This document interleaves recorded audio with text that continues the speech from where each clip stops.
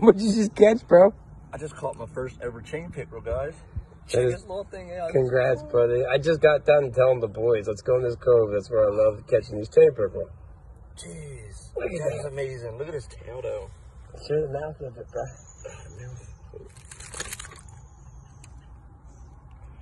Hold on, bro.